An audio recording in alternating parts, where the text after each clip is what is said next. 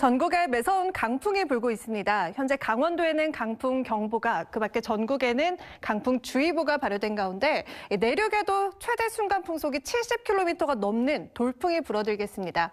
특히 이번 강풍은 오늘 밤부터 내일 새벽 사이에 가장 강하겠습니다. 밤사이 시설물로 인한 피해 없도록 각별히 대비하셔야겠습니다. 오늘 서울에는 3.6cm의 눈이 내려 쌓이는 등 전국에 적지 않은 눈이 내렸는데요. 앞으로 호남 지역은 내일 오전까지 최대 10cm 이상의 폭설이 더 쏟아지겠습니다. 이제는 한파에 대비를 하셔야겠습니다. 전국 대부분 지역에는 한파특보가 발효 중이고요. 내일 서울의 아침 기온 영하 12도, 하지만 체감하는 온도는 이보다 10도가 더 내려가겠습니다.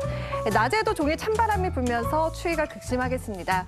이번 추위는 토요일 낮부터 잠시 누그러졌다가 다음 주 화요일에 다시 찾아오겠습니다.